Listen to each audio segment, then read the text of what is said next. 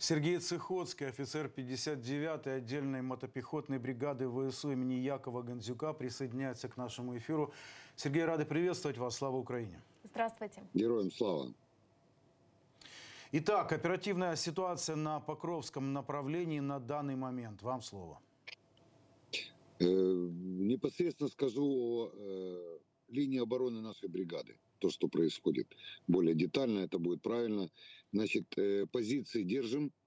Э, враг, скажем, э, активно, таких очень активных действий с использованием техники не предпринимает. Вот. Больше, скажем, инициатива сейчас находится на данном участке в наших руках.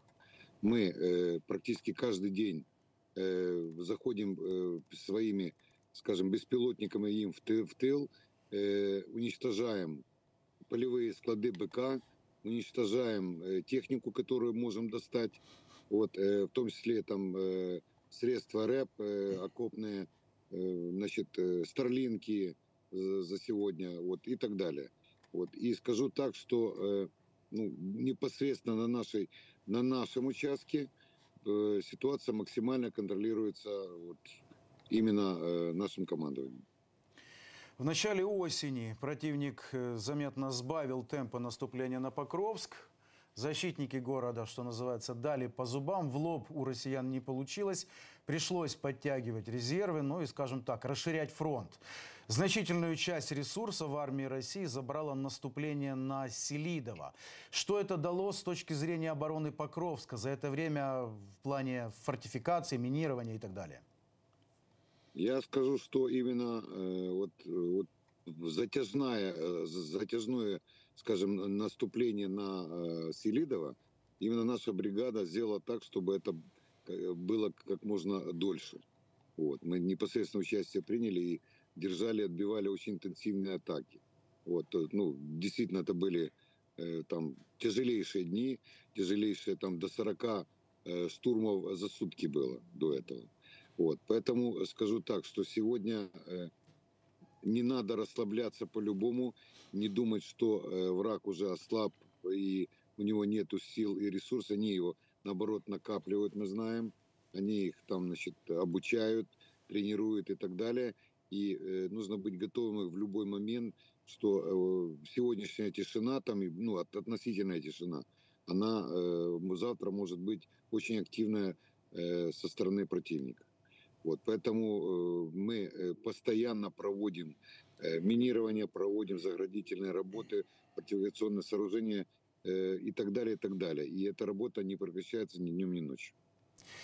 Как мы говорим не, неоднократно уже с нашими гостями в эфире, противник по-разному ведет себя на разных участках фронта.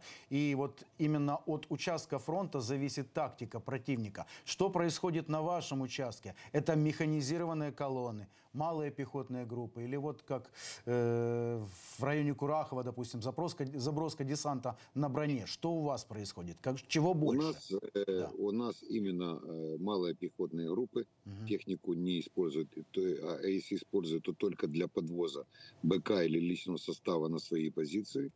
Вот, что мы, э, вот, передвигается э, абсолютно на всех видах транспорта, включая мотоциклы, квадроциклы, там легковые автомобили.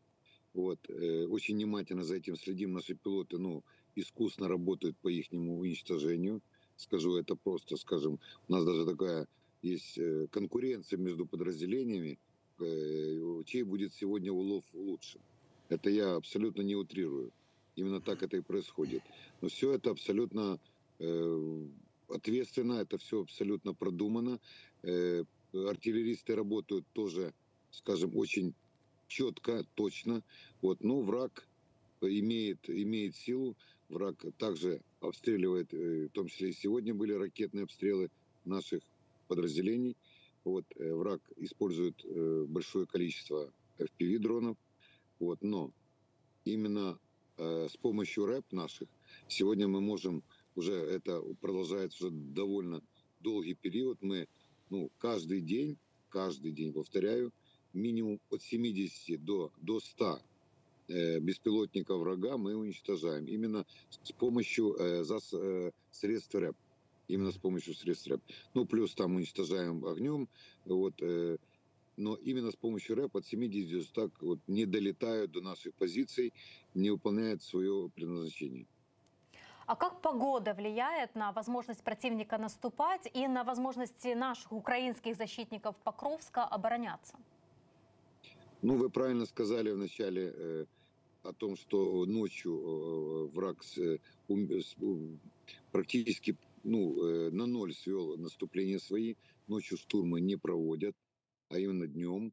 Вот. А если это затягивается до вечера, то это те группы, которые уже вышли, и э, мы вынуждены их, скажем, добить до того, чтобы они, ну, скажем, превратились в недействующих э, героев на, этой, на этом поле битвы. Вот. Вот такая ситуация. Погода, конечно, влияет э, как положительно, можно сказать, так и, и отрицательно. Почему э, положительно Э, когда плохая погода, когда холодно, значит, дроны э, меньше могут лететь, э, запас заряда у них меньше из-за, за счет погоды. Вот, личный состав, так званый их, в том числе мерзнет, это надо учитывать. Вот, учитывая, что они все-таки на чужой земле, они оккупанты, они это понимают, и наша погода украинская, она тоже это вот. А мы на своей стороне, как бы, ну, для нас это немножко плюс. Но все равно э, надо представить каждый раз каждому, кто слушает эфиры, и понимать, что такое находиться, скажем, на нуле в холодную погоду под постоянными обстрелами и как это выглядит. И при этом держать оборону и не давать врагу продвигаться дальше. Вы уже немного об этом рассказали, но хочу детальнее остановиться на этом вопросе. Вот по сводкам Генштаба ежедневно враг теряет несколько десятков автомобильной специальной техники. Вот за 11 ноября 140 единиц потерял враг. Эм, как задействует противник легкую технику? Ну, легкую технику э, он задействует все, что может ехать. Вот у них это вот, э, допустим, те же мотоциклы, у них это уже давно практикуется. Они там э, устраивали на них разные там ситуации. И просто подвести и уехать там кого-то, или подвести быка и уехать, или подъехать, э, спрятать мотоцикл и, соответственно, э, вот вести там бой, а, а потом, значит, спробовать с ним же, опять же, поехать дальше. Вот. Но хочу сказать так для наших зрителей, что если мы уже засекли кого-то, вот, на мотоцикле или там на любом другом виде транспорта, то задача заключается не только уничтожить э, этого, скажем, туриста заблудившегося, но обязательно уничтожить спрятанную где-то в кустах, в посадках э, или там в каком-то здании эту технику, чтобы он дальше не мог ее использовать. Вот, э, что, в принципе, успешно у нас и получается. Артиллерия, Сергей, все еще бог войны. Согласны с мнением, что вот несмотря на все преимущества, на все прелести и удобства, беспилотник все-таки не может полноценно заменить пушку или ту же САУ? Ну, конечно, да. В любом случае это э, мощь, это сила. Вот. А учитывая то, что мы научились еще в 22 году э, очень тщательно, экономно э, делать выстрелы, потому что у нас не, не было другого выхода, да, когда там буквально за каких-то 15-20 минут надо было выехать на позицию, сделать три выстрела и быстро оттуда уехать. Почему? Потому что враг абсолютно там покрывал э, всю дорогу отхода. Они уже прекрасно понимали, э, по какой дороге будем возвращаться. Вот, ну, непосредственно это было много раз. И поэтому это научило нас очень экономно, но при этом эффективно работать. И сегодня наши артиллеристы, это действительно их ну, супербоги, я бы так сказал бы именно супербоги, потому что так как они э, наловчились уже за это время э, именно, э, во-первых, маскироваться, во-вторых, значит, выполнять команды, слаженность подразделений, понимаете, ну, буквально там жестами, одним словом, каждый знает, что ему делать, и все это так быстро происходит, ну, это надо, ну, многое, конечно, будем рассказывать уже после победы, но сейчас э, недооценивать или там давать кому-то преимущество я э, ну, не, не стал бы, а в любом случае это работа и это нужно делать. У врага, на жаль, к сожалению, очень достаточно еще этих артиллерийских установок, э, снарядов есть, но комплексная работа, как в глубоком тылу врага, по их там складам крупным, так и э, на фронте, при фронтовых э, там населенных пунктах, позициях и так далее, дает о себе знать. А вот такой нюанс, э, такой нюанс, если говорить не о непосредственно штурмах, там, наступлению э, противника, а, скажем так, разведка в определенный момент доложила, ну и вот, э, соответственно, понеслось, да, по расположению личного состава, складу боекомплекта, ну, словом, по ближнему тылу. Как вот в этом тандеме работают беспилотники и артиллеристы? Ну, э, смотрите, я э, вот на, на примере бригады, да, мы, например, увидели где-то прорыв какой-то, там подразделение врага, там в количестве, там, ну, в любом, 10-20 человек и так далее абсолютно сразу внимание, э, во-первых, зона ответственности того или иного подразделения, плюс бригадная артиллерия, э, плюс э, беспилотники, которые в том числе есть и в каждом подразделении, плюс отдельно батальон у нас есть беспилотных комплексов, который очень четко всегда на чеку. Вот. И все решает командир, и это все решается буквально за считанные минуты нету такого, что надо куда-то доложить и так далее. Сегодня в этом плане у нас, ну, э, где-то мы э, приближаемся уже, да, где-то используем стандарты НАТО, которые абсолютно отличаются от тех стандартов, которые были еще в советской армии. Вот пока дождаться старшему начальнику, там доложить, э, запросить, попросить и так далее. Это упрощает. Ну, войска НАТО четко работают. Там сержант третьей категории может вызвать авиацию, если будет необходимо. И он э, его услышат, и будет все сделано так, как надо. У нас пока еще до этого надо идти, но э, я думаю, что у нас это будет, рано или поздно мы к этому придем. А беспилотники, ну, это то, что позволяет уничтожать врага э, вдали от линии соприкосновения непосредственно, где не надо использовать личный состав, ну, использовать, я имею в виду, задействовать э, непосредственно под э, риском таким, э, ну, открытым риском, да, для жизни. В любом случае, любая позиция в зоне, э, в районе боевых действий, она, ну, любой человек с любого подразделения, он подвержен опасности каждый день и каждый час. Вот. А вот, но беспилотники, особенно усиленные беспилотники, которые могут летать на 10 и более километров, сегодня это э, сохраненные жизни, здоровье наших военнослужащих. Ну вот беспилотники это ведь не, не только разведка, там, ударная работа по противнику, не только сбросы. А чем еще занимаются фронтовые дроны?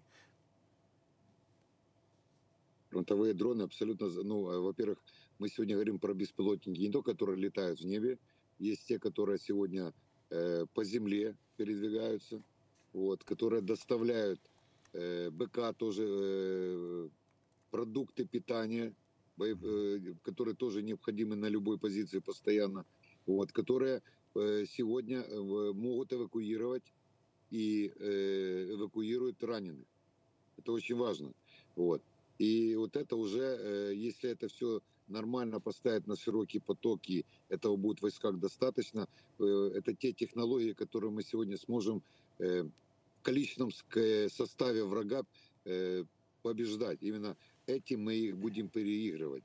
И уверен на 100%, что э, наши кулибины, которые сегодня работают, я говорю сегодня непосредственно про наших э, э, людей, которые создают, усовершенствуют, э, именно переделывают даже те э, дроны, э, которые к нам попадают, мы их абсолютно не говорим как, и, лучше это в эфире не говорить, но делаем так, чтобы они были мощнее, э, они были эффективнее на поле боя, и тем самым мы вот, вот таким образом должны их э, переигрывать на поле боя, я имею в виду врага.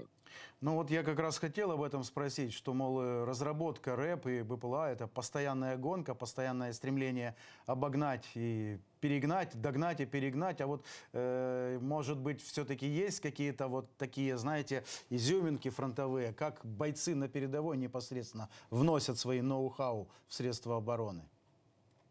Что можно рассказать? Что можно? Но я, я не сторонник, вот если честно, я не сторонник рассказывать именно про ноу-хау.